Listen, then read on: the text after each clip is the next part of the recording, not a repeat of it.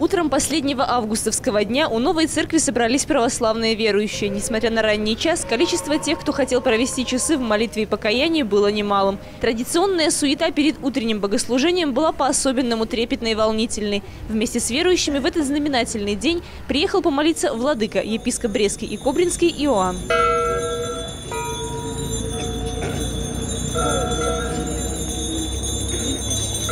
Искренняя молитва и посильная помощь многих-многих людей позволила возвести пока временный храм на обычном пустыре. Сроки, в которые были выполнены все работы, сравнимы с чудесами, творимыми иконой Божьей Матери Всецарица. Церковь была построена практически за полгода и торжественно открыта в день престольного праздника. Теперь сюда за помощью и утешением могут приезжать верующие из разных уголков Беларуси. Храм во славу именно этого образа Божьей Матери единственный в области и второй в республике.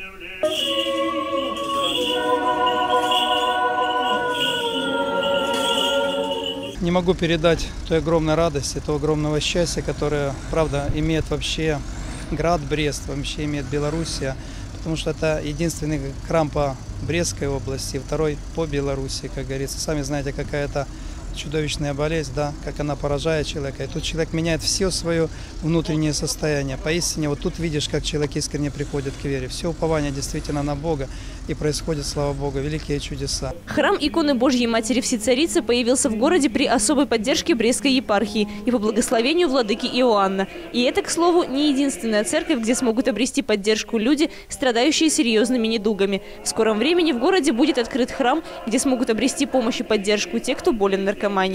Когда я прихожу в онкологическую больницу, и когда молюсь вместе с этими людьми, которые подходят под благословение, говорят, что вот, Владыка, все, врачи уже расписались в, своей, в своем бессилии, мне придется умирать.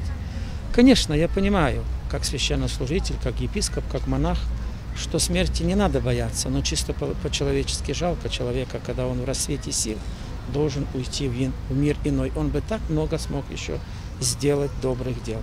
Поэтому нашим решением было вот именно такая, зарегистрировать такую общину и построить именно такой храм. Я вам скажу больше. Мы зарегистрировали также общину в городе Бресте в честь святого праведного Иоанна Русского. Это святой, который помогает людям, которые являются наркоманами.